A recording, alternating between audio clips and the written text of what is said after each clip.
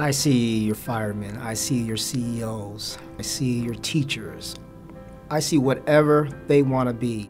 But it's our responsibility, everyone, white, black, Hispanic, I don't care who you are, is to help them through that and encourage them through that.